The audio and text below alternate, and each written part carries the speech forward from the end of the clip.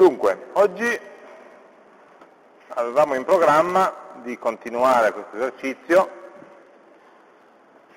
Eh, la volta scorsa abbiamo realizzato un possibile modello di processo, andiamo avanti sui vari punti e in particolare il punto successivo che viene richiesto è il modello concettuale relativo a questo scenario in cui dobbiamo andare a elencare essenzialmente tutti, tutte le entità concettualmente significative, i loro attributi e le loro relazioni principali. E come sempre usiamo il formalismo del diagramma delle classi, quindi rappresentiamo come classe quello che è un'entità del progetto. Allora, per fare questo lavoro ricordiamoci un po' ciò che facevamo nella prima settimana, andiamo, diciamo, facciamo l'esercizio di andare a identificare quelli che sono diciamo così, i nomi, i sostantivi principali nella descrizione, in realtà un po' di analisi l'abbiamo già fatta nel costruire il, eh, il diagramma di processo, no? l'activity diagram che rappresentava il processo quindi in realtà alcuni termini no, li abbiamo già messi in evidenza, tra cui se andiamo a leggere ciò che avevamo scritto, a parte i soggetti, i soggetti sono coloro che compiono le azioni e non necessariamente sono entità gestite dal sistema, ma spesso sono attori. Ma eh, per il resto abbiamo qua un generico bisogno di acquisto bisogna capire a che cosa corrisponde, qui si parla di fondi, qui si parla nuovamente di fondi o di disponibilità dei fondi,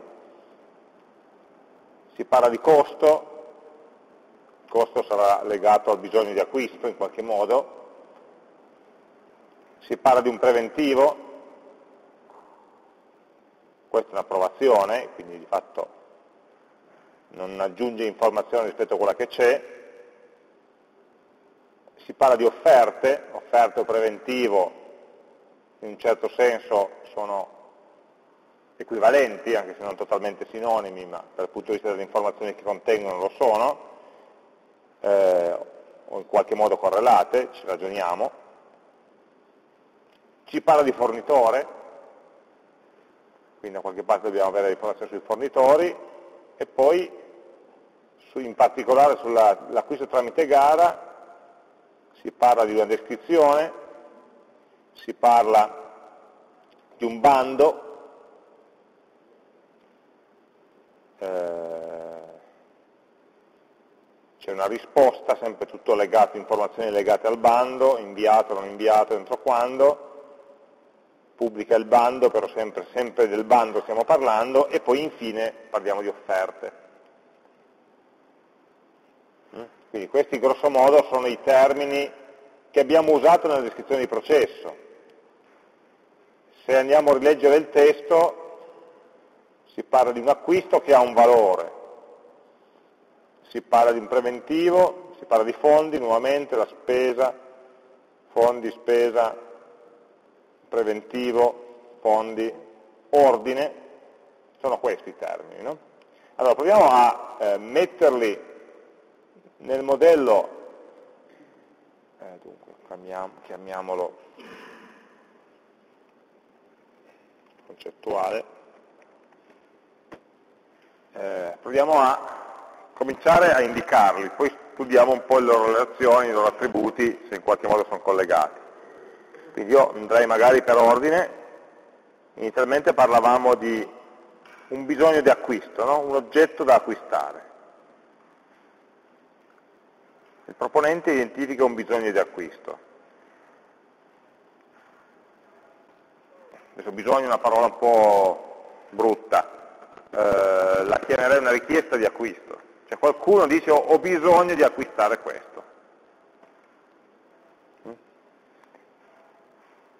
E me la visualizzo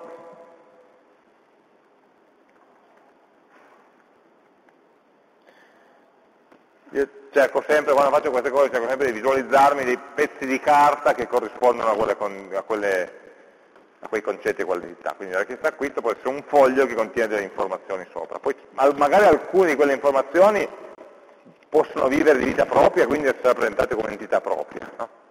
Però è un oggetto che ha senso gestire. Tenete presente che a livello di processo e a livello di modello, di modello concettuale non siamo ancora vincolati a dire rappresentiamo questo in una base dati.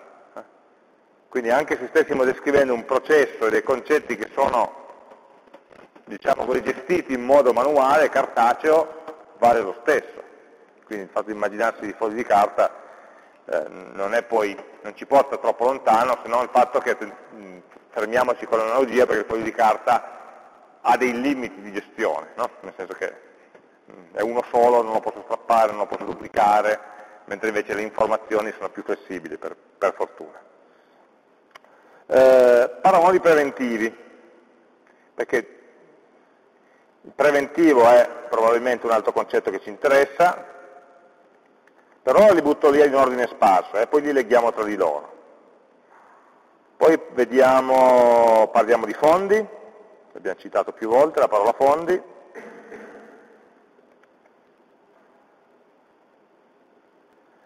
eh, responsabile dei fondi autorizzare la spesa, quindi qui ci seleziona il preventivo più basso,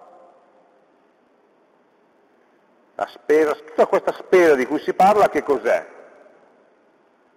la spesa è presumibilmente un attributo della richiesta d'acquisto.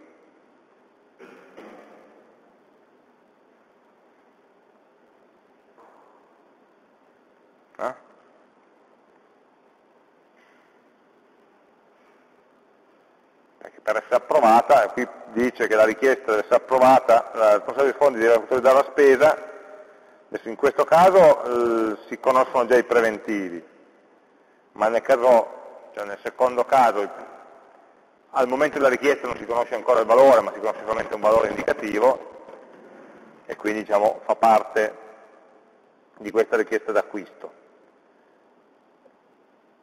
Verifica di disponibilità dei fondi, procede a definire l'ordine, ordine, fornitore. Sono gli altri due termini che compaiono.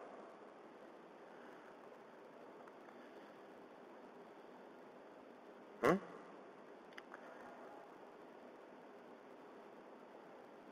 Poi eh, abbiamo, e qui abbiamo raccontato la prima metà del processo. Nella seconda metà del processo vediamo se si aggiunge qualche cosa. Il valore dell'acquisto è superiore, il valore ce l'abbiamo, questo valore dell'acquisto è equivalente a questa spesa, no? è un modo diverso di dirlo. L'acquisto deve essere fatto tramite un bando di gara. Quindi il bando è un'entità a parte, bando, scriviamolo per steso, bando di gara, eh, indicando anche il tempo di apertura del bando, vabbè questo è facile, ce l'hanno già detto, tempo di apertura. Del bando, qua un attributo, eh, il bando viene poi verificato dal proponente che può richiedere delle modifiche. Beh, questo è puramente l'aspetto di processo, dal punto di vista dei contenuti non, non implica nulla. Quindi il direttore del Dipartimento deve approvare il bando.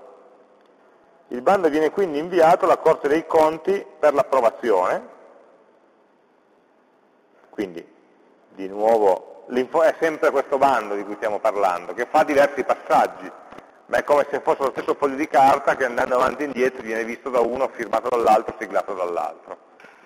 Il tener traccia di queste variazioni non, è, non cambia ciò che c'è scritto sul bando, cambia eventualmente ciò che c'è scritto sulla busta, cioè sul processo che lo gestisce, però non fa parte del modello di informazioni. Eh, il bando viene inviato alla Corte dei Conti, la Corte dei Conti può provare, rifiutare oppure richiedere delle modifiche. Una volta ottenuta l'approvazione della Corte dei Conti, il bando viene pubblicato sul portale MEPA. Però di nuovo il soggetto e l'oggetto di cui stiamo parlando continua a essere il bando, che dopo aver fatto tanti giri tra tanti uffici va a finire su un portale. Durante il tempo di apertura i fornitori possono inserire un'offerta per il bando. Questo invece mi aggiunge due cose nuove, fornitore e offerta. Mm? Fornitore, ah ce l'ho già, scusate, quindi offerta. Fornitore era già qua. Eh, posso inserire un'offerta per il bando. Allo scadere del tempo di apertura, di nuovo un aspetto di processo, non di concetti, l'ufficio acquisti visiona le offerte, offerta ce l'abbiamo già, e sceglie quella più bassa e procede a definire e poi inviare l'ordine, e ordine è una cosa che abbiamo già. Quindi direi che i concetti direttamente estraibili dal testo della proposta e anche dall'analisi di processo che abbiamo fatto la settimana scorsa sono questi. Adesso bisogna andare un po' a raffinarli, soprattutto a legarli tra di loro, capire se sono giusti, se si possono diciamo così, semplificare, unificare o, o, o è necessario viceversa dettagliarli di più. Allora, noi abbiamo, se vogliamo, una piccola complicazione dal fatto che con lo stesso modello concettuale in qualche modo vogliamo gestire due processi diversi. Per cui che relazione c'è, ad esempio, tra preventivo e offerta?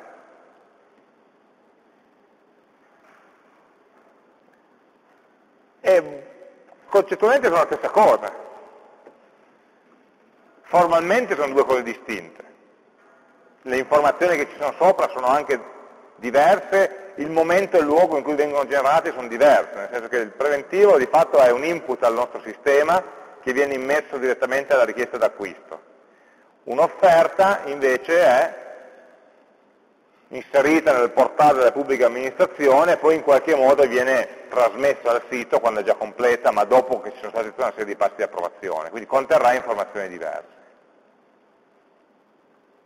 Quindi entrambe in qualche modo sono legate alla nostra richiesta d'acquisto, cioè voglio comprare una bottiglia d'acqua e allora nel primo caso avrò tre preventivi per la bottiglia d'acqua. Voglio comprare 10.000 bottiglie d'acqua, allora dovrò fare il bando di gara e avrò n offerte che mi rappresentano questo.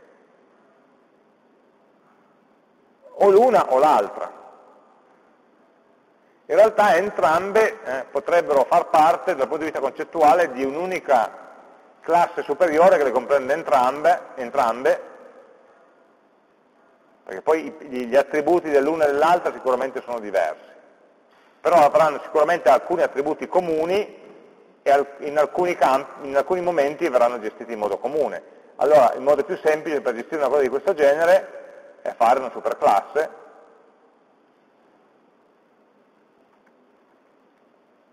Eh, che non so come chiamare, se non preventivo offerta, barra offerta.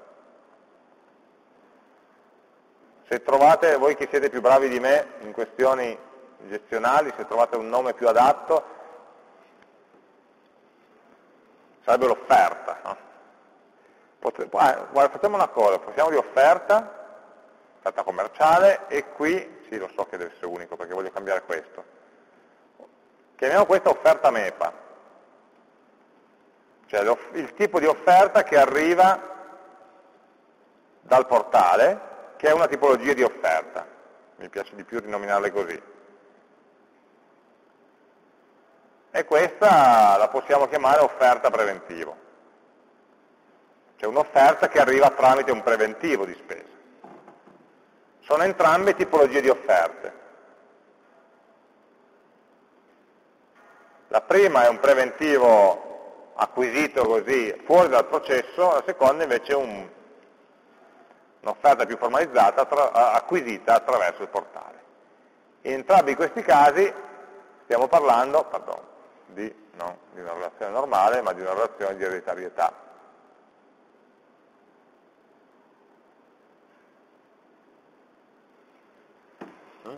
Entrambe queste sono tipologie di offerta. E quindi a livello di attributi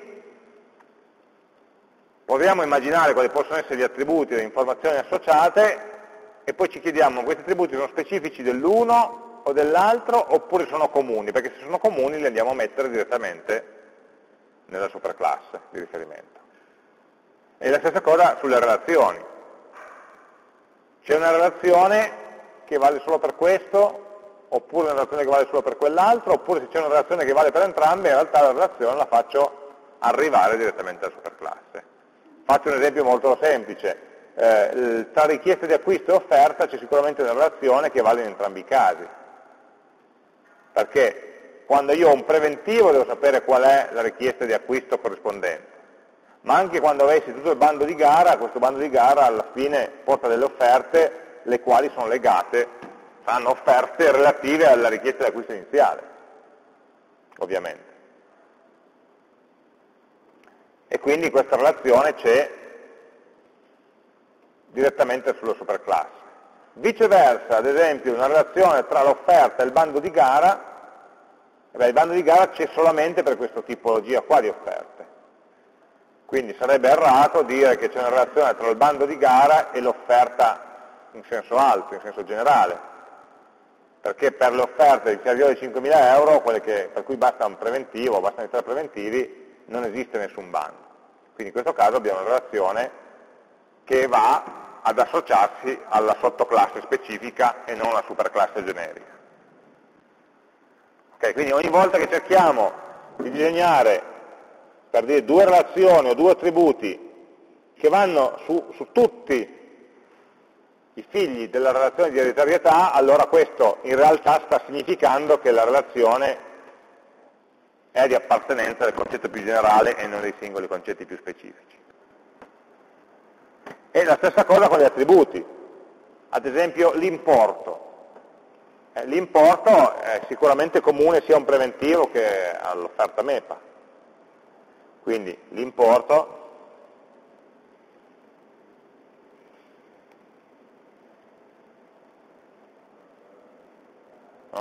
lo metto qua. Metterlo qua significa metterlo sia qua che qua contemporaneamente, eh, ovviamente. Tutto ciò che metto nella superclasse viene ereditato e quindi importato, ricopiato dalle due sottoclassi. La data sicuramente c'è,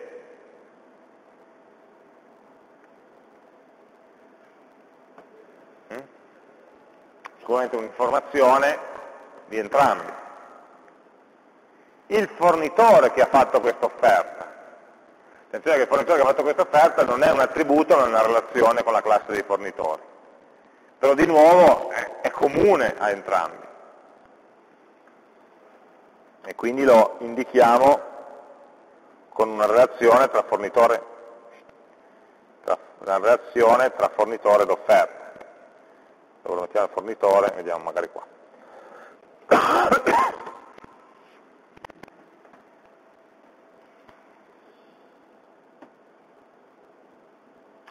Eh, I fondi sono legati a cosa? Sono legati alle richieste d'acquisto, invece. Non tanto alle offerte nei fornitori, ai quali non interessa minimamente di qual è il capitolo di spesa interno mio su cui pago la spesa, ma fanno parte del mio processo interno di approvazione e poi di gestione economica e quindi è legato alla richiesta di acquisto.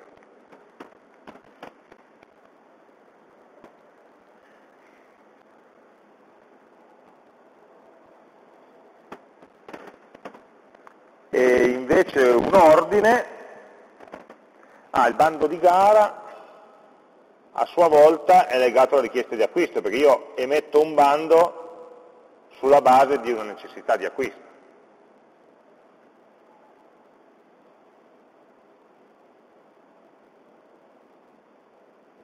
Perché ricordiamo il processo, in alcuni casi la richiesta di acquisto è già accompagnata dal preventivo e finisce lì e quel preventivo è dato da un fornitore, in altri casi la richiesta di acquisto specifica dei fondi sulla base dei quali poi si apre un bando di gara che genera delle offerte alle quali poi verrà fatto l'ordine, offerte che ovviamente sono, sono indicate da qualche fornitore. In questo secondo caso la relazione tra richiesta d'acquisto e offerta non esiste, o meglio arriva dopo se vogliamo. perché quando viene creata la richiesta di acquisto l'offerta non esiste ancora. Quindi adesso poi andremo a giocarci le cardinalità per essere sicuri no, di, di, di, specificare quali sono le relazioni obbligatorie, quali facoltative, quali molteplici. L'ordine, allora immaginiamoci un pezzo di carta su cui ci sia un ordine. Cosa c'è scritto su quell'ordine? Vabbè, c'è una data, ci sono i miei dati dell'ordinante, ma quelli li so, ci sarà il fornitore e il bene richiesto. Quindi su quell'ordine, per poter compilare quel foglio di carta, devo andare ad agganciarmi a, a pescare sicuramente i dati del fornitore, le informazioni sul fornitore,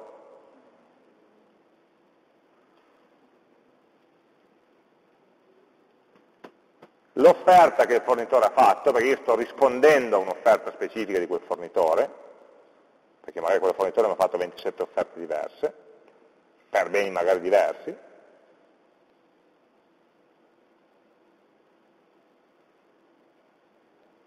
poi al fornitore non arriva, ma internamente sicuramente quell'ordine è legato dai fondi, perché nel momento in cui la merce arriverà dovrò andare, cioè nel momento in cui l'ordine parte i fondi vengono impegnati.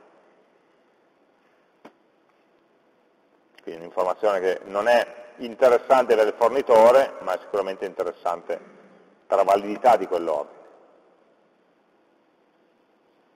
Quel punto è slegato dalla richiesta di acquisto, che era un documento interno in cui io specificavo che cosa volevo, ma poi quello che acquisto non è, non vado a mettere la specifica di ciò che volevo, ma vado a mettere esattamente il codice, la descrizione dell'oggetto che mi ha fornito in offerta il fornitore quindi qualche conto è ciò che si cita sull'offerta, ovviamente il processo di aggiudicazione mi dirà quali offerte rispondono correttamente alla richiesta oppure no, quindi avrò selezionato quella giusta. Quindi l'ordine so quali sono i fondi, so quali sono eh, il fornitore a cui inviarlo, so qual è l'offerta.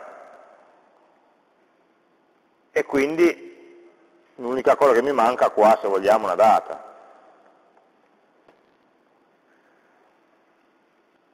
Poi ci possono essere le note, il tempo di consegna, altre informazioni che, che se vogliamo possiamo aggiungere. Così come che il fornitore ovviamente avrà tutte le sue informazioni anagrafiche.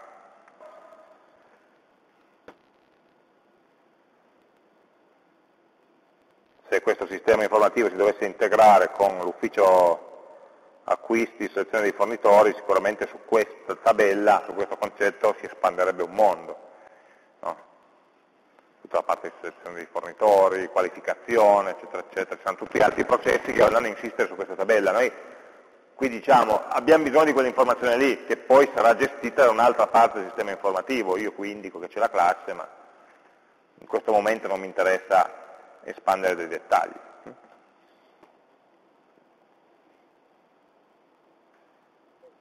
La richiesta d'acquisto, da qualche parte ci sarà una descrizione del bene che, che intendo acquistare e anche l'offerta presumibilmente avrà una descrizione.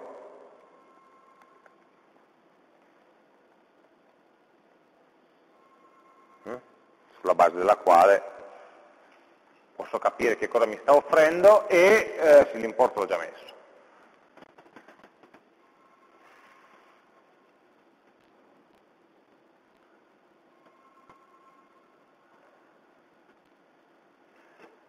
Troviamo qualche differenza tra l'offerta sotto forma di preventivo o l'offerta sotto forma di risposta al portale MEPA?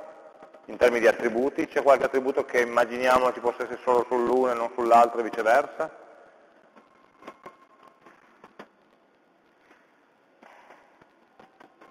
Beh, uno c'è di sicuro che è questo, no?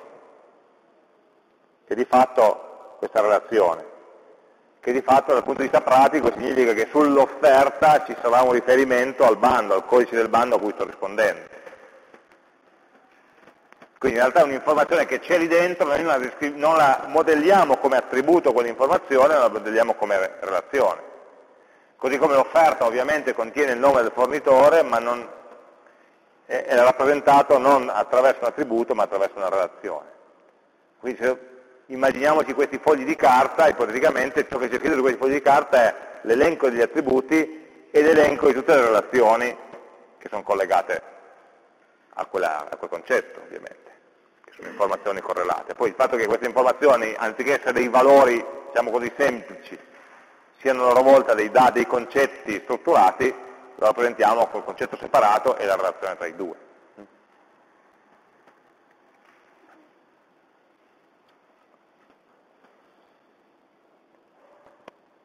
Al momento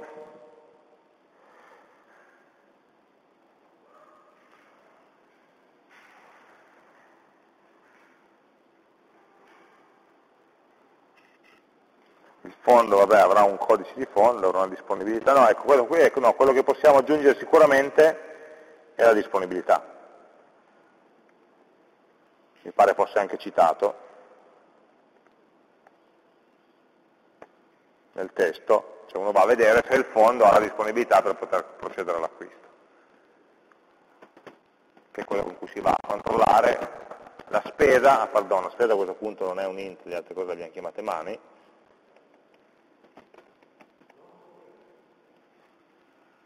Scusa? Ah, anche sì, sì. Mettiamo, sì, forse era già definita, giusto.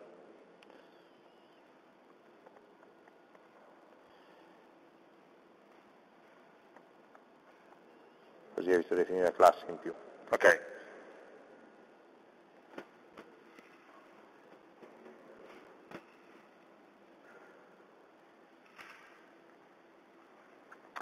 Dobbiamo mettere ancora a posto le cardinalità. Allora, per una determinata richiesta di acquisto, quante offerte ci sono e per un'offerta quante richieste di acquisto ci sono. Allora, un'offerta è relativa a una sola richiesta d'acquisto, deve essere la risposta a una richiesta, anche se fosse un preventivo, relativo a quella richiesta d'acquisto specifica, quindi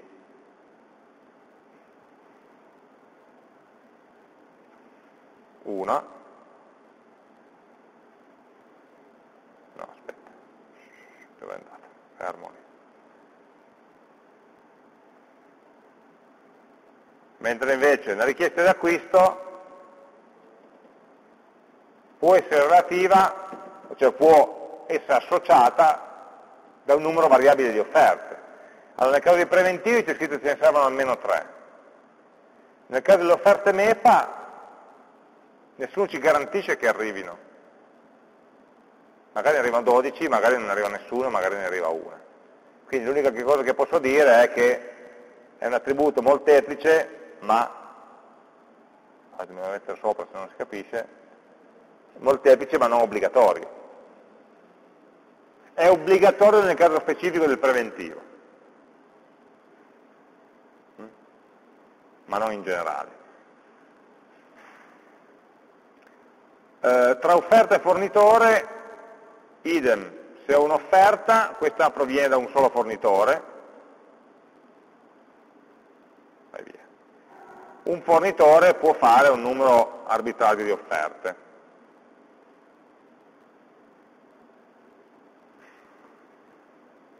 La richiesta di acquisto e fondi, la richiesta di acquisto è relativa a un fondo specifico, un fondo invece può contenere molte richieste, può, sì, su quel fondo possono gravare anche molte richieste di acquisto.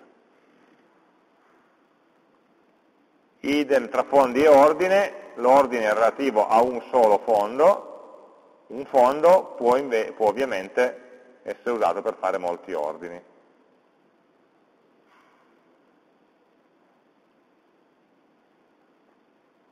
Tra ordine e offerta la relazione invece è diversa, nel senso che un ordine è relativo a un'offerta ben precisa, quindi qua c'è un 1, ma un'offerta non è detto che generi un ordine, anzi di solito tra n offerte n-1 non genera nessun ordine e se va bene una genera un ordine, quindi tra offerta e ordine c'è una cardinalità di tipo 0,1.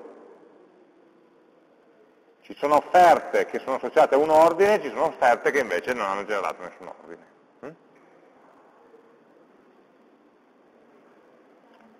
Poi ci rimane tra richiesta di acquisto e bando di gara, allora, il bando di gara relativo a una richiesta di acquisto, la richiesta di acquisto può essere relativa o meno a un bando di gara, perché questo dipende dall'importo non solo dall'importo, dipende anche dal fatto che venga approvata, che sia la disponibilità dei fondi, eccetera. Quindi possono esserci delle richieste. Oh, ciao. Prego. Certo, venite.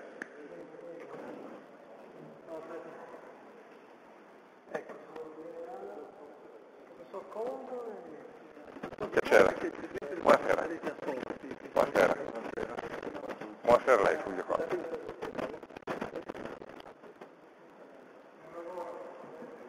Grazie. Ciao.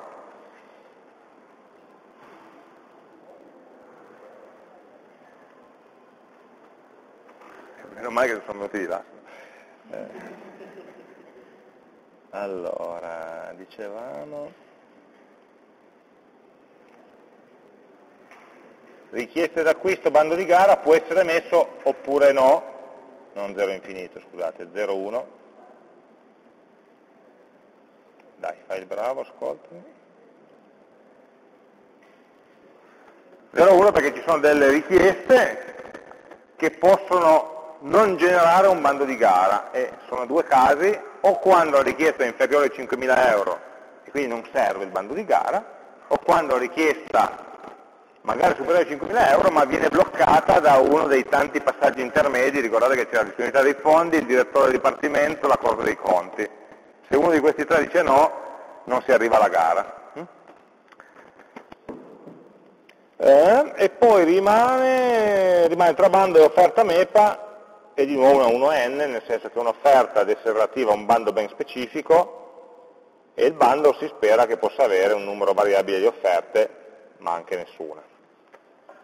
Ordine fornitore, di nuovo l'ordine ha un fornitore ben preciso, il fornitore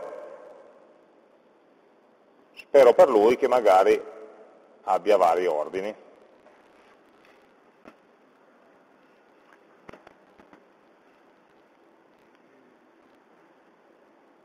Ehm,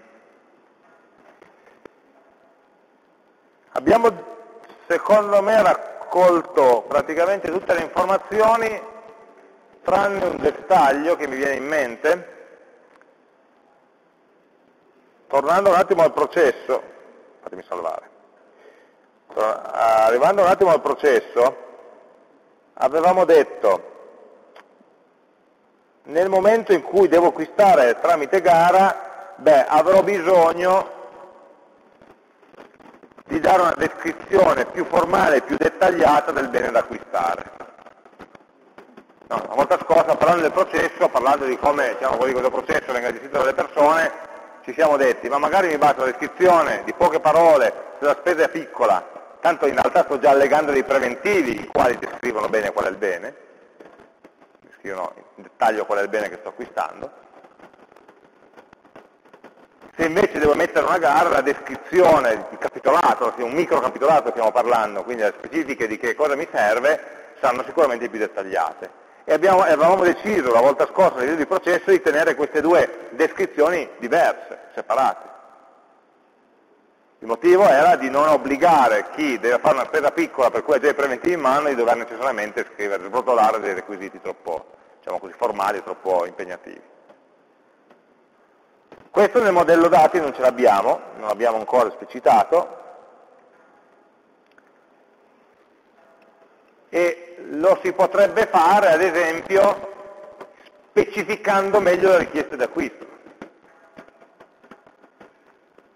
La richiesta d'acquisto ha quelle caratteristiche, ha quelle relazioni. Dopodiché esiste un sottoinsieme di richieste di acquisto che deve essere meglio specificata. Allora questa è la tipica, di nuovo, relazione di ereditarietà. C'è una sottoclasse, un sottoinsieme che ha qualcosa di più. Quindi io proverei a fargli spazio per una classe che è una richiesta di acquisto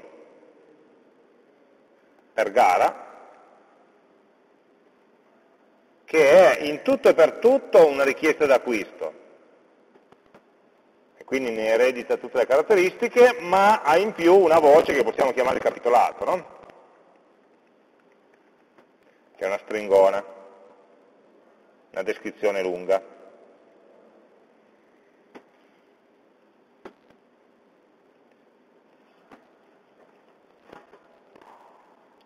E a questo punto, avendo fatto questa sottoclasse, possiamo anche dire che il bando di gara non è più relativo alla richiesta d'acquisto in generale, ma solamente a queste richieste d'acquisto che richiedono una gara. E avendo associato questo, in realtà mi cambia anche questa cardinalità. Perché se è vero che... Ah no, non è vero, me lo rimangio. Cambia il ragionamento che faccio su questa cardinalità però, nel senso che prima avevo detto a una richiesta d'acquisto il bando di gara magari non c'è perché è inferiore a 5.000 e quindi non serve. In questo caso sottostante invece sono sicuro che è superiore ai 5.000. Quindi un bando di gara ci dovrebbe essere, quindi mi è venuto per un attimo la tentazione di mettere qua un 1, per dire obbligatorio deve esserci, in realtà no perché possiamo fermarla prima, per mancanza di fondi, per la, la, la seconda delle due condizioni che mi continua a specificare che il bando di gara potrebbe non essere emesso a fronte di una richiesta di acquisto. No, lo vediamo nel processo. Nel processo il bando di gara è qua. Però cioè, il bando di gara viene emesso a un certo punto qua, pubblica il bando ma prima di arrivare qua devo no, passare da due bei verifiche del proponente e del direttore e a monte di tutto devo essere passato dalla verifica dei fondi, che era qua. Quindi non è detto che nel momento in cui creo un bisogno di acquisto, quello che abbiamo chiamato una richiesta di acquisto, superiore a 5.000 euro, non è affatto detto, e lo vedo nel processo perché ho delle strade per uscire prima, non è affatto detto che arrivi a creare un bando di gara, un oggetto, un'entità bando di gara, a dare un numero nuovo a un bando di gara. E quindi 0,1 posso farlo, posso farlo.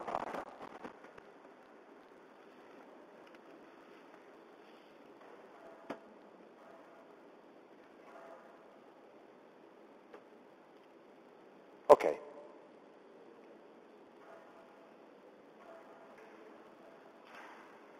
gli altri sono aspetti estetici.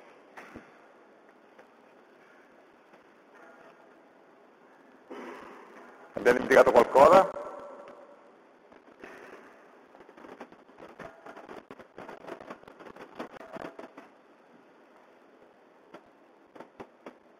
Ok, allora possiamo salvare questo e dire che questo è il nostro modello concettuale.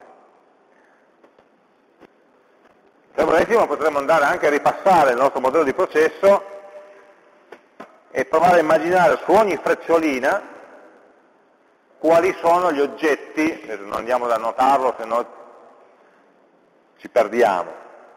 Proviamo solo a chiederci, su questa freccia che cosa viaggia? Viaggia la richiesta di acquisto.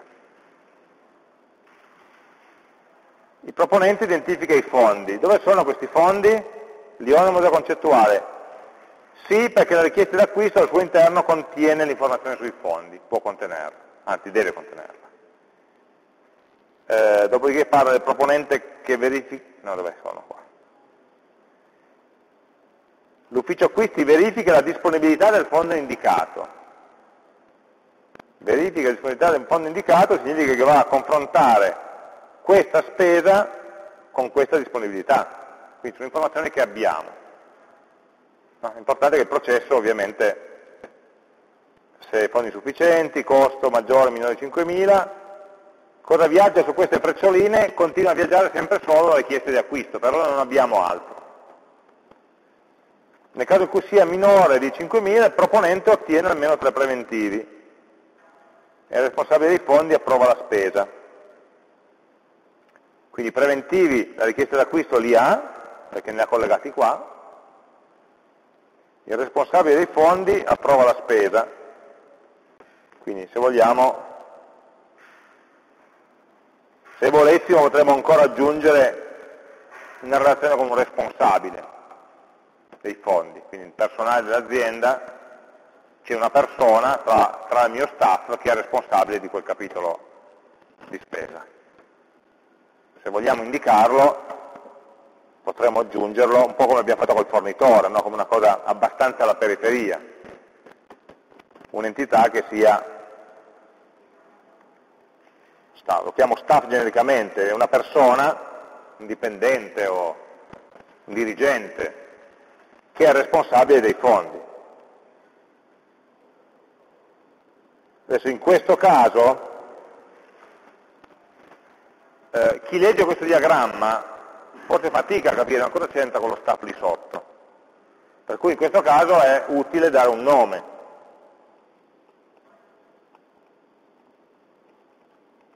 Alla relazione.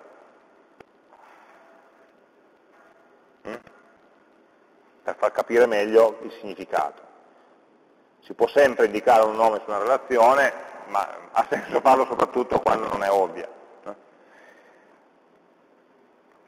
Ok.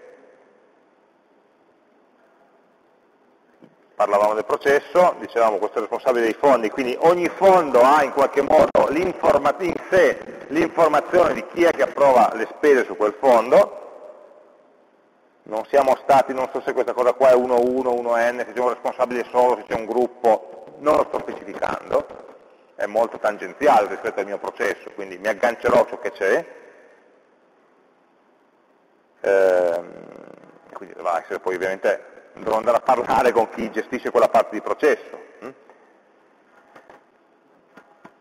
Dopodiché qui si parla già di l'offerta più conveniente, quindi su questa frecciolina qua sta viaggiando l'offerta e su questa frecciolina qua in uscita sta viaggiando l'ordine. Quindi qui c'è un processo che prende l'offerta che è stata selezionata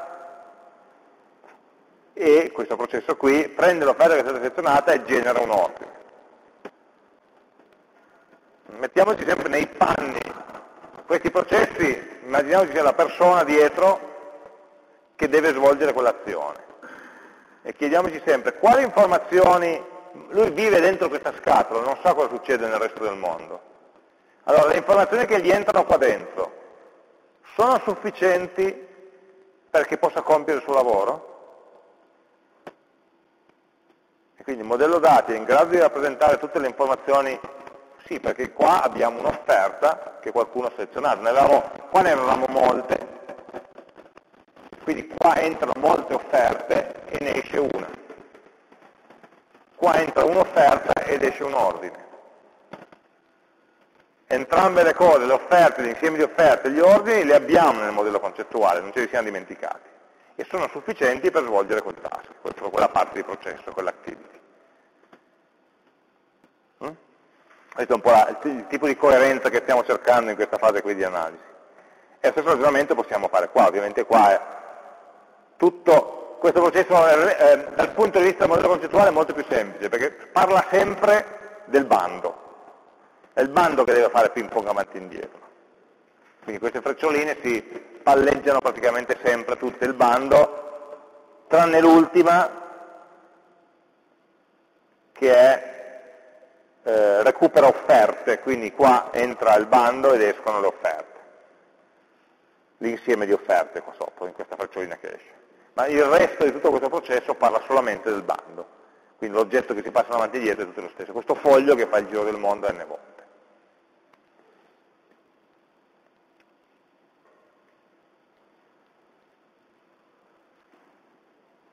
Ok?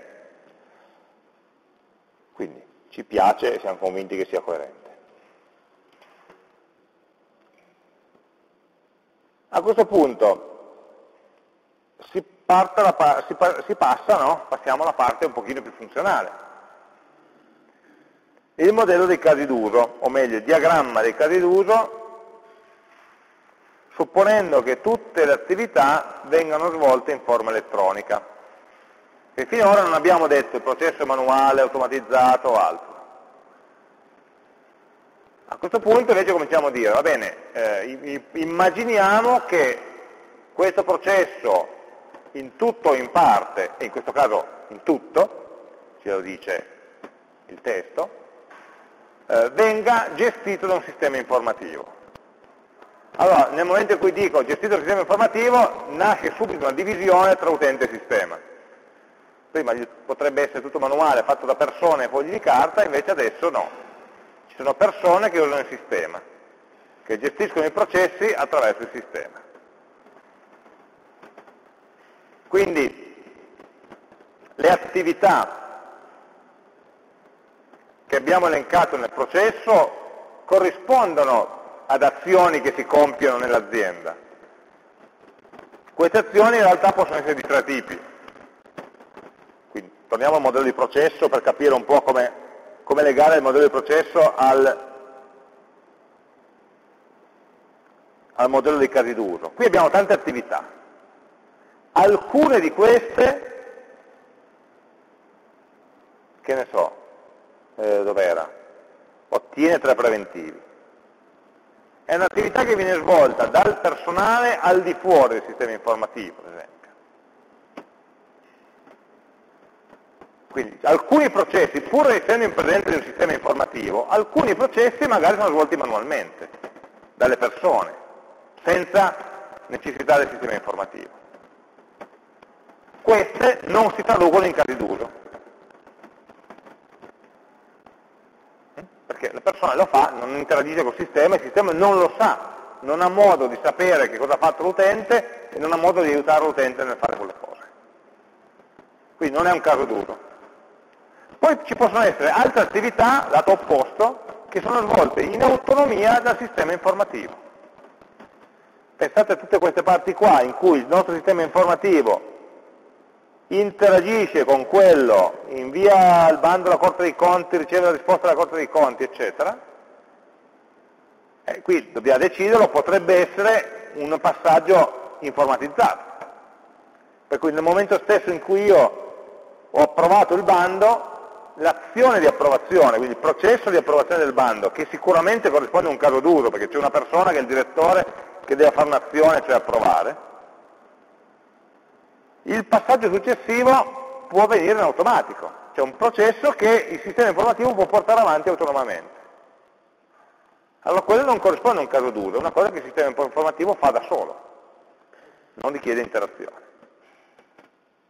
Quindi tutte le parti di processo che sono svolte solo dalle persone o tra le persone non generano casi d'uso.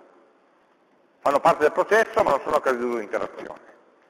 Tutte le fasi di attività invece che sono, possono essere svolte dal sistema informativo in autonomia senza l'interazione con l'utente non generano casi d'uso, i casi d'uso invece sono i momenti in cui i due mondi, gli attori e eh, il sistema interagiscono.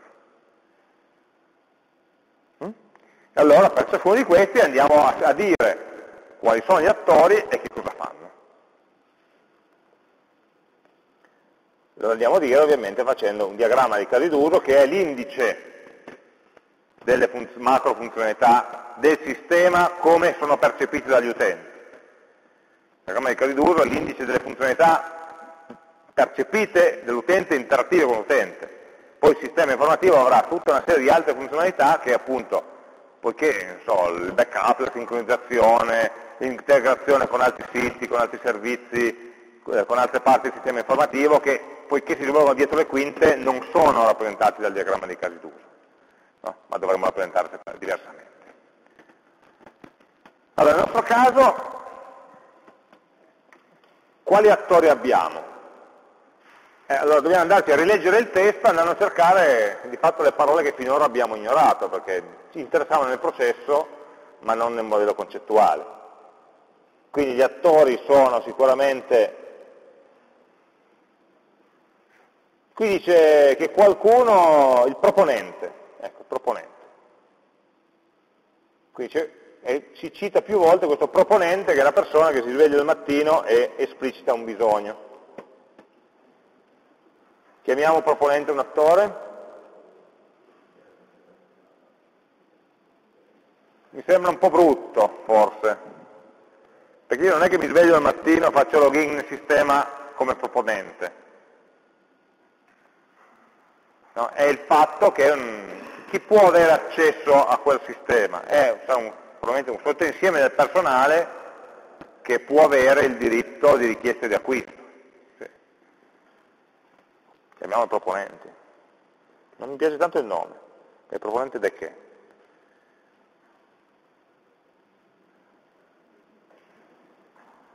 Vabbè, se vi viene in mente un nome migliore, lo scriviamo. Perché può essere proponente di andare in vacanza.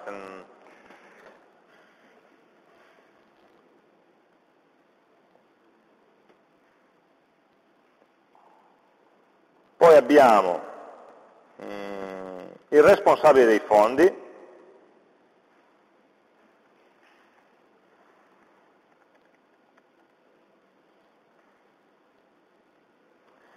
poi abbiamo l'ufficio acquisti,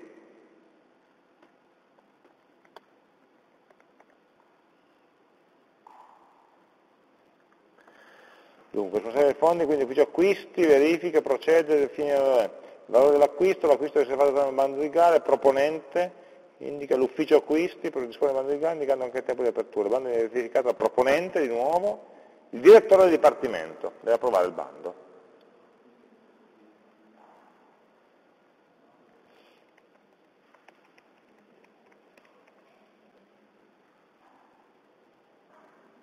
mettiamolo vicino al responsabile dei fondi perché hanno un ruolo simile.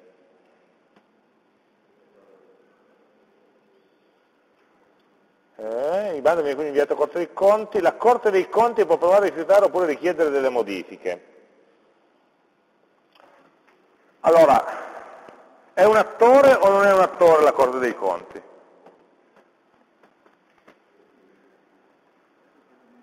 inteso non ovviamente come ente astratto, ma una persona che lavora lì ha le credenziali per poter. Allora, sicuramente qualcuno alla Corte dei Conti ha delle informazioni che deve passare a me. Però la persona fisica che lavora alla Corte dei Conti si collega al mio sistema informativo per fornire informazioni? No. la persona che lavora alla Corte dei Conti si collegherà al proprio sistema informativo, quale sistema informativo ci sarà la mia richiesta di approvazione del bando, perché il mio sistema informativo in automatico probabilmente l'avrà inviato, e questo operazione di invio, quindi il mio sistema informativo parla con il suo sistema informativo, poi là ci sarà una persona che si collega al suo sistema informativo e dice oh guarda è arrivato un nuovo bando, avrà i suoi processi interni che a un certo punto arrivano a dire approvo o non approvo. Come conseguenza di questo i, vari, i due sistemi informativi si parlano e a me arriva l'esito di quella scelta.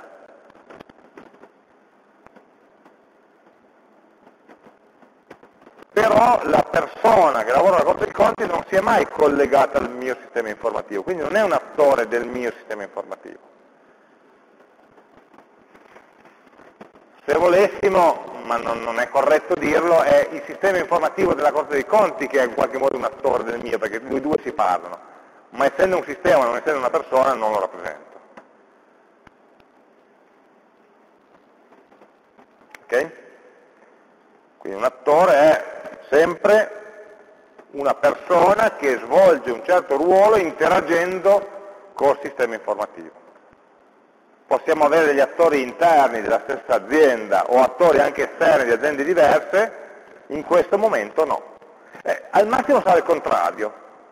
Cioè io non me, la, non me lo vedo una persona della Corte dei Conti che si alza al mattino e si collega ai sistemi informativi di 200 aziende diverse per approvare i rispettivi bandi. Non ha senso. Al massimo potrebbe essere vero il contrario. Se questa attività di integrazione è effettivamente automatica, non c'è nulla da fare. Ma immaginiamo magari una piccola azienda che è sistemino piccolo e non riesce a fare l'integrazione completamente automatica e informatizzata con la Corte dei Conti. Allora che cosa ci sarà? Ci sarà un nostro impiegato che avrà la password per andare a inserire delle cose nella Corte dei Conti, nel sistema informativo della Corte dei Conti, e poi vedere le relative risposte. Questa cosa funziona al contrario, è nel sistema informativo della Corte dei Conti c'è un attore esterno che è l'impiegato di un'azienda che intende, di una pubblica amministrazione che intende pubblicare i bandi. Quindi è girato al contrario.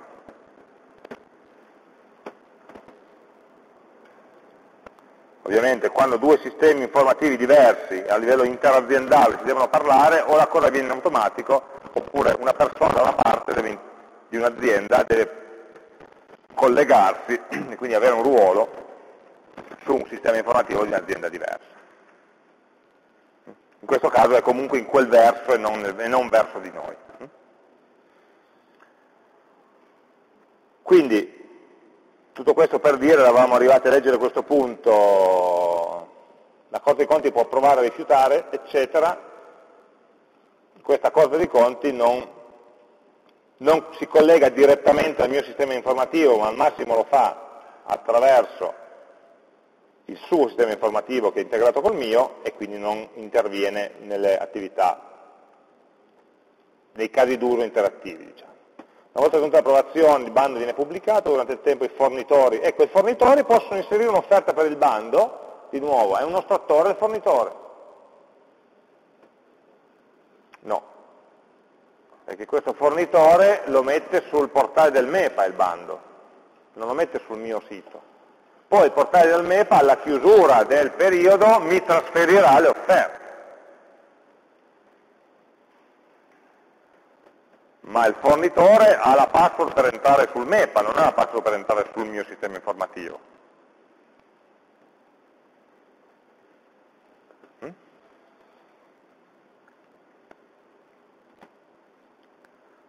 L'ufficio acquisti di nuovo visiona l'offerta e sceglie quella più bassa, procede a definire e poi inviare l'ordine. Ok, quindi direi questi sono i quattro attori, questi qui,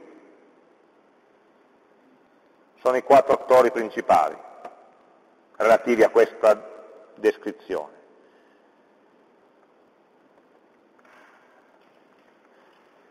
Cosa fanno? Cosa possono fare? Quali sono le attività che ciascuno di questi deve poter fare? E andiamo di nuovo a rileggere per l'ennesima volta la descrizione, oppure se volete a questo punto dovremmo avere già tutte le informazioni nel processo, se non abbiamo dimenticato dei pezzi.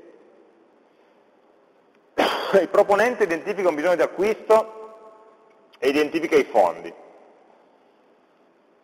Quindi questo è un task, no? è un'attività.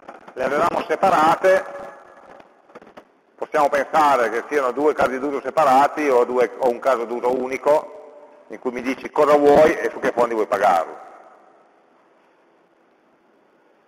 Oppure se vogliamo mantenere separate queste due cose avremo un caso d'uso in cui c'è inserimento di bisogno d'acquisto e un secondo in cui lo vado a richiamare un una richiesta d'acquisto precedente e specificare i fondi.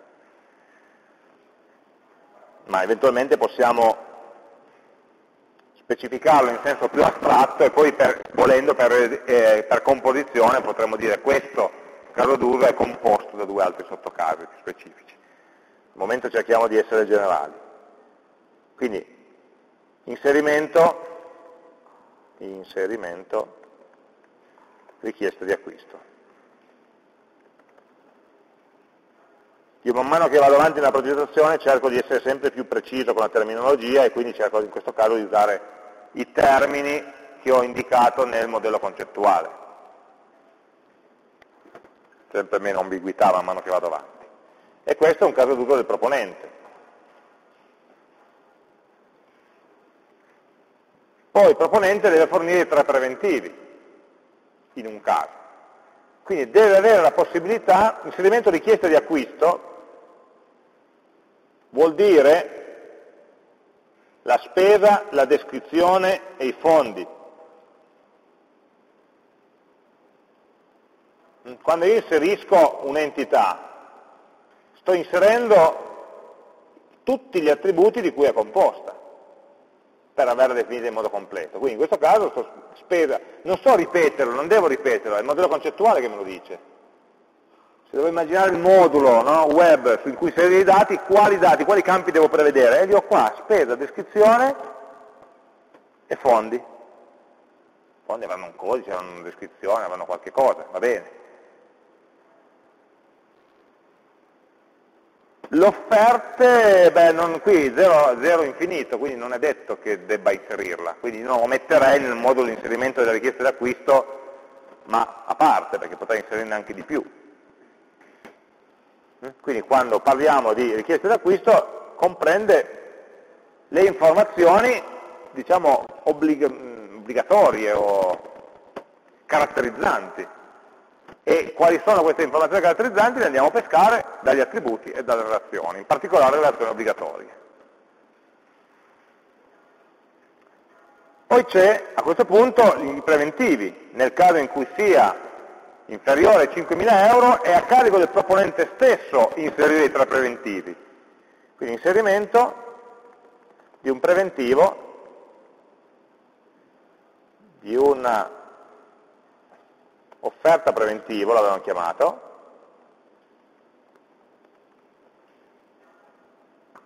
per una richiesta di acquisto.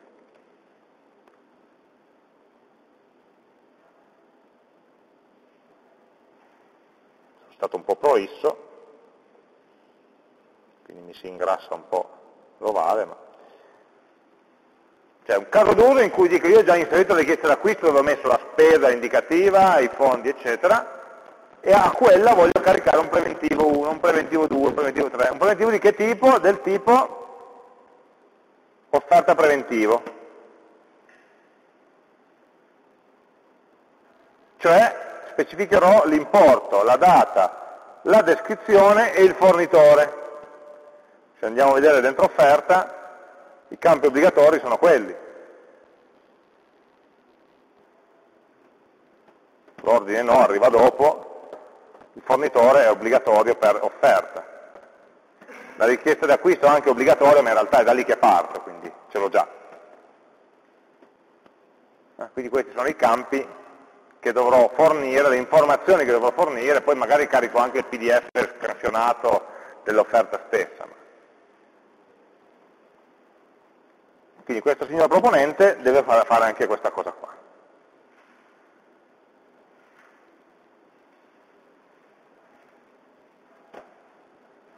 Poi andiamo avanti col processo. Eh, oggi no, eh? Okay. Andiamo avanti col processo. L'ufficio acquisti verifica la disponibilità del fondo indicato.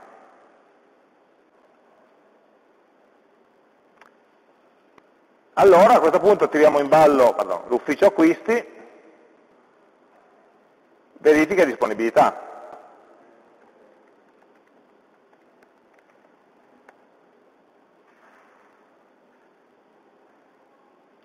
Fondi per richiesta di acquisto.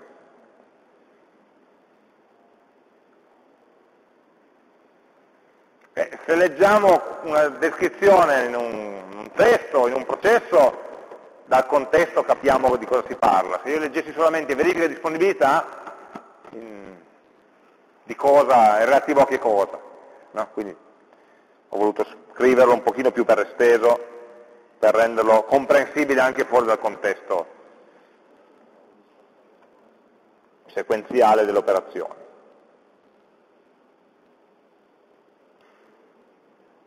Eh, proviamo anche a chiederci, lo faremo, lo dovremo fare quando faremo la narrativa di casi di studio, ma proviamo a chiederci qual è l'effetto di questi casi di studio, l'input e l'output, ma soprattutto l'output che è. Inserisci una richiesta d'acquisto vuol dire che alla fine nel database c'è una richiesta d'acquisto in più.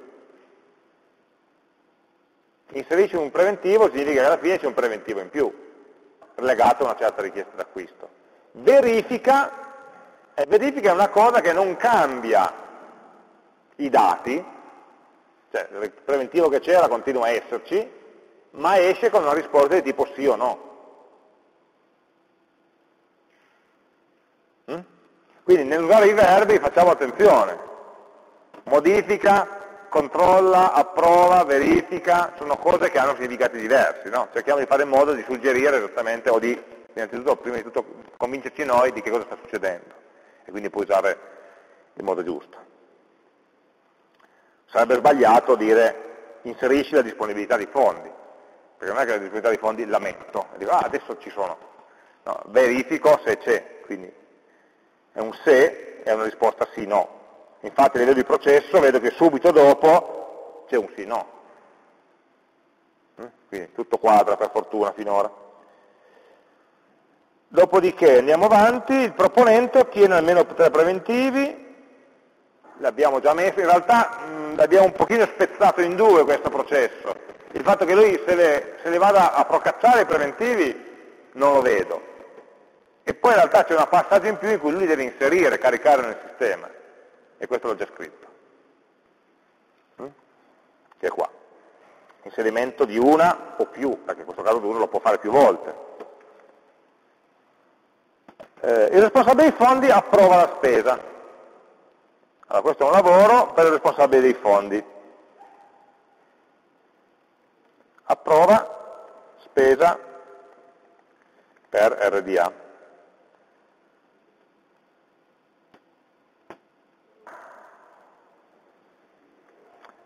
Poi, eh, l'ufficio acquisti seleziona l'offerta più conveniente, quindi sempre l'ufficio acquisti.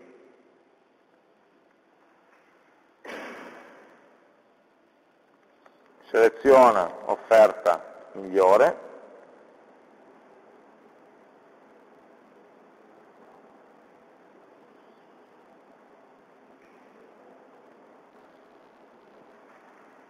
mm? Avete presente che questo è una scelta di processo molto forte, nel senso che alla fine tra n preventivi chi decide non è il proponente che dice ma io preferisco questo rispetto all'altro perché ma è l'ufficio acquisti che tipicamente guarderà solamente il prezzo. È così questo processo. E purtroppo molti processi reali. L'ufficio acquisto a questo punto invia l'ordine al fornitore. E quindi nei casi d'uso sempre l'ufficio acquisti invia ordine.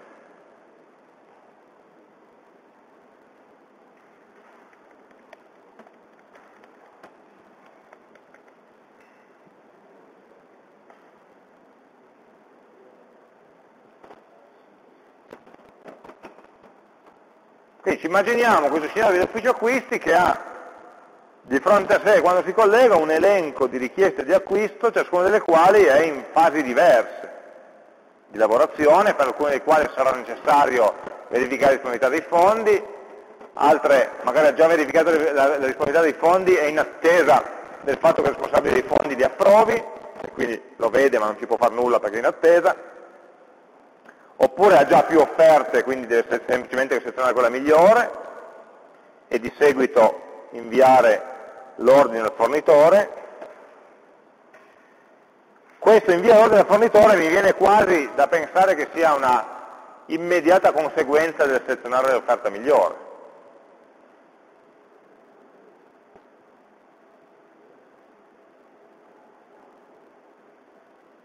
No? Nel senso che inviare ordine al fornitore è quasi un'estensione. Potrebbe essere una cosa che attivo indipendentemente, beh adesso invia l'ordine, ma se no come naturale passaggio ho scelto l'offerta e invio l'ordine. Quindi quello che potrei fare è anche indicarlo non come caso d'uso del tutto indipendente, pardon, ma anche semplicemente come estensione dell'offerta migliore.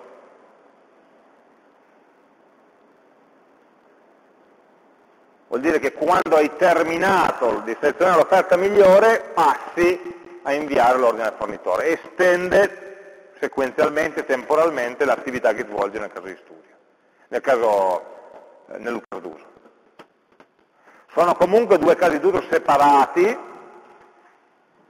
se lo pensiamo a livello user goal, qual è lo scopo dell'uno e dell'altro sono diversi, l'effetto finale è diverso, uno aver selezionato un'offerta tra n e l'altro aver prodotto e inviato un ordine, ma sono collegati dal punto di vista dell'esecuzione temporale. Sono separati, sono attivabili separatamente, ma c'è una relazione tra questi due che è anche abbastanza forte. Quindi poi chi farà l'interfaccia deciderà se farli da due bottoni, due bottini di menu separate, oppure fare in modo che l'uno cada nell'altro in un certo senso. Finito l'uno, pof, ti trovi già direttamente dentro l'altro e salti dei passaggi, perché è la naturale estensione dell'altro. Ok? Eh. E qui la parte semplice del processo, grosso modo, si gestisce con questi casi d'uso. La parte invece più complessa, che è quella relativa, no? eh, direi che abbiamo dimesso tutto. La parte più complessa, che è quella relativa all'acquisto tramite gara, beh, eh, richiede delle modalità di interazione in più. Allora, innanzitutto questo, il fatto che il proponente inserisce il capitolato, Quindi nei casi duri non solamente l'inserimento in un acquisto d'acquisto, ma un inserimento in un capitolato.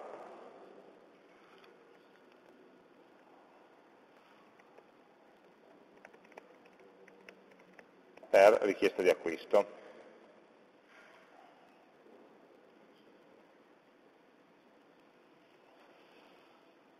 Questo è ciò che deve fare il proponente.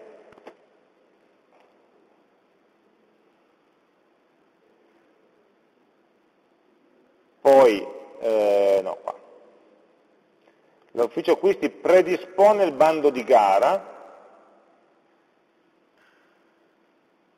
Allora, qua vediamo. Predispone il bando di gara, verifica il bando, sono attività gestite dal sistema? Sì, possiamo pensare di sì, no? il testo ci diceva pensa che tutto sia gestito dal sistema perché a volte invece significa prendere in Word un template di band e mettere i nomi dentro e lo passo, te lo mando via mail perché tu lo controlli, quindi avviene al di fuori del sistema informativo. Poi invece vogliamo gestire tutto quel sistema informativo e quindi dobbiamo avere una funzionalità attraverso cui l'ufficio acquisti predisponga il bando. No, vuol dire che il mio sistema informativo probabilmente ha già in pancia un template di bando e va a prendere i dati dalle richieste d'acquisto e li popola direttamente. Quindi l'ufficio acquisti che era qua predispone il bando. Abbiamo bisogno di, qualche, di un po' di spazio in più, vero qua?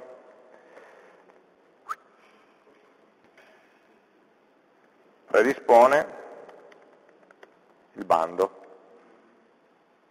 Cioè inserisce nel sistema di fatto un nuovo bando a partire da una richiesta d'acquisto. Bando il quale deve essere verificato dal proponente. Quindi il proponente a questo punto, dopo che ha inserito il suo capitolato, dovrà anche, in un passaggio successivo, vediamo se riesco a farmi spazio, dovrà anche in un passaggio successivo verifica il bando. Di nuovo verifica è un'azione in cui io vedo una cosa fatta da un altro e dico sì o no. Magari con commento. eh, sono qua, se sono necessarie modifiche si fanno, eccetera, eccetera, se no si va avanti, il direttore del dipartimento approva il bando. Chissà perché i direttori sono sempre quelli che hanno i casi di più facili. Il direttore del dipartimento, mettiamolo qua, approva il bando. Quindi in realtà questa offerta è stata approvata prima dal responsabile dei fondi e poi dopo tutta questa trafila di capitolato per disposizione del bando eccetera passa al direttore del dipartimento il quale approva il bando. Poi abbiamo queste parti qua che abbiamo detto che non corrispondono a casi d'uso umani, perché sono i sistemi informativi che si parlano, Ciò che invece eh, coinvolge gli umani è questa freccia di modifica, cioè cosa succede nel caso in cui la Corte dei Conti dice no, vabbè, finisce tutto. Dica sì, andiamo va avanti, lo vediamo dopo, dice invece modifica. La modifica significa che devo tornare qua all'ufficio acquisti che non più predispone un nuovo bando di gara, ma modifica un bando di gara esistente. Quindi come minimo l'ufficio acquisti predispone il bando, ma anche modifica un bando.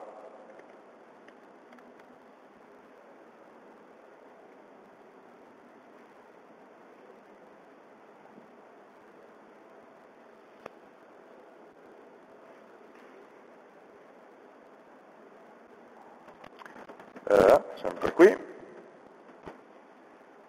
quindi sono arrivato qua sotto, no, vedete, sto seguendo il processo e chiedendomi dov'è che un nostro impiegato deve fare qualche cosa collegandosi al sistema informativo e dove sì, deve esserci un caso duro e quindi di fatto una, una parte poi di interfaccia che, che lo permetta. L'ufficio acquisti recupera le offerte dal portale MEPA. Allora, questo qua in realtà è un,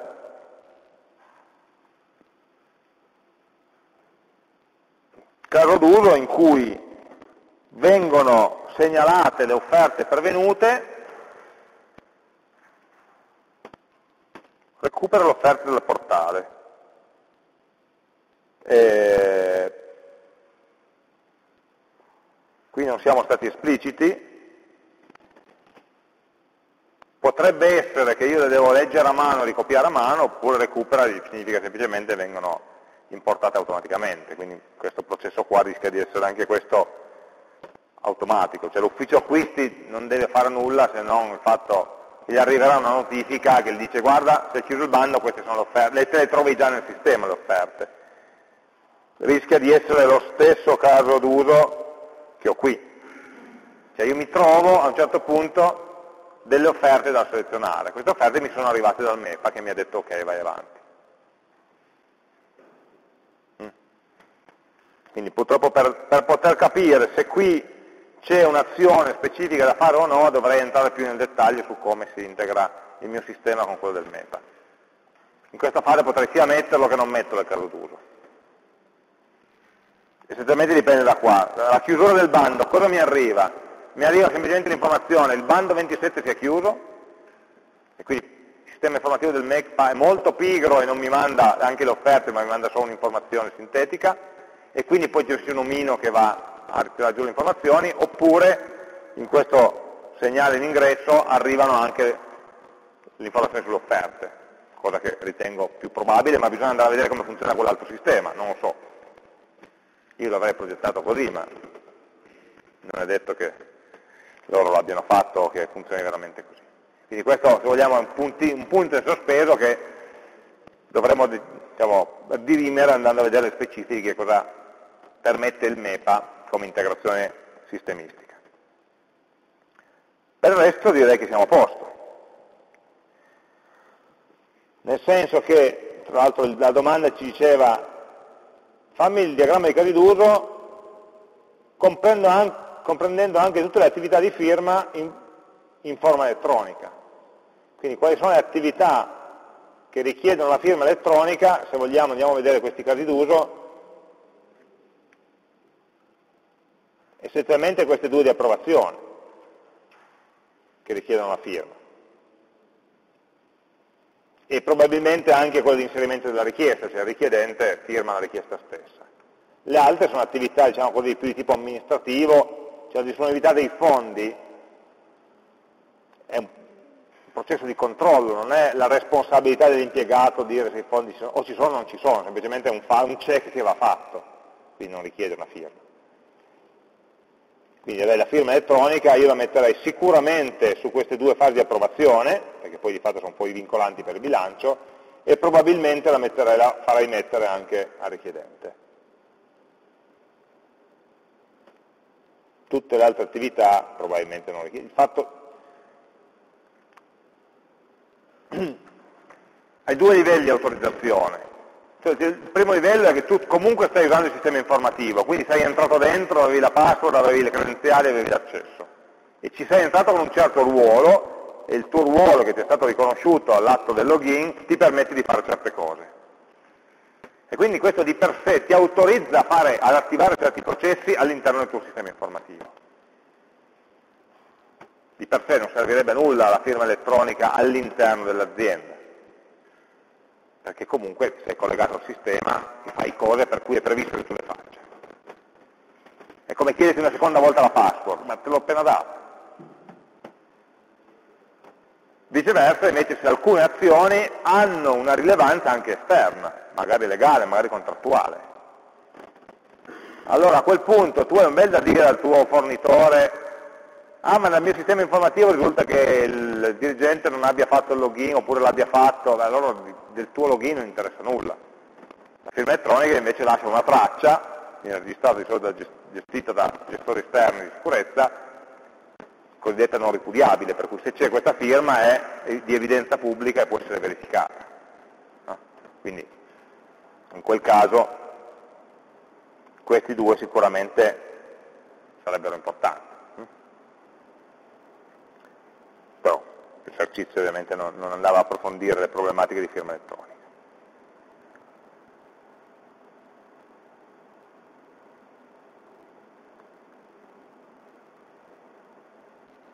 Quindi non vedo al momento... Sì, cosa ho fatto? Salva.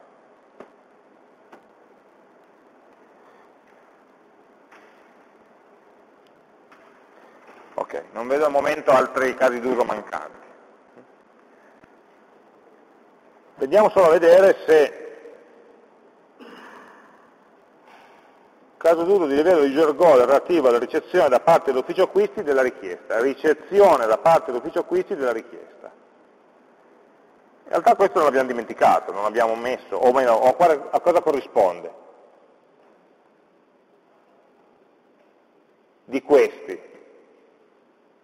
Cioè, no? Ciò di cui dovremmo fare la descrizione, qui è descritto come ricezione da parte dell'ufficio acquisti della richiesta.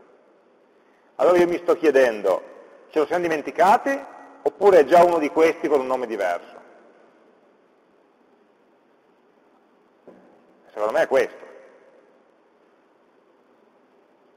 Ciò che fa l'ufficio acquisti quando riceve la richiesta. Ce l'abbiamo qui.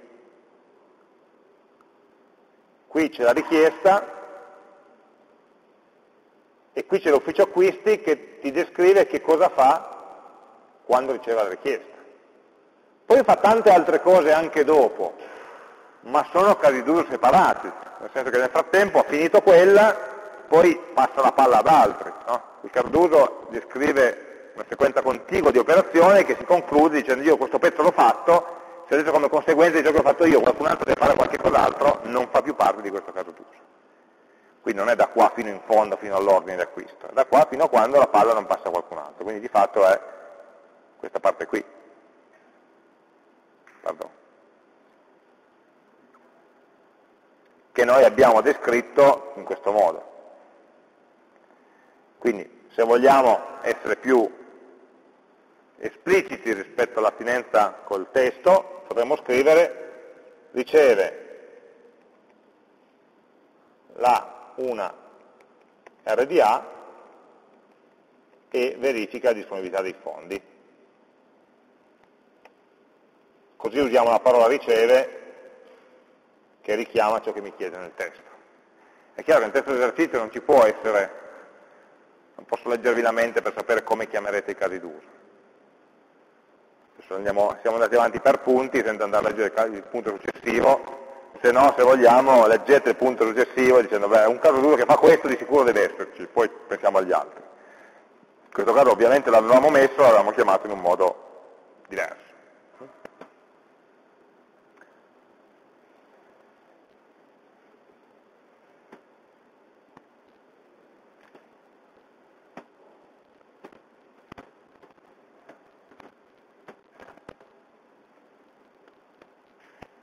Io vi proporrei una pausa a questo punto, credo che ne abbiamo bisogno, io sicuro, eh, magari 10 minuti, non molto di più per non andare troppo in là, e poi magari proviamo a fare almeno per sommi capi la descrizione del caso d'uso. Okay?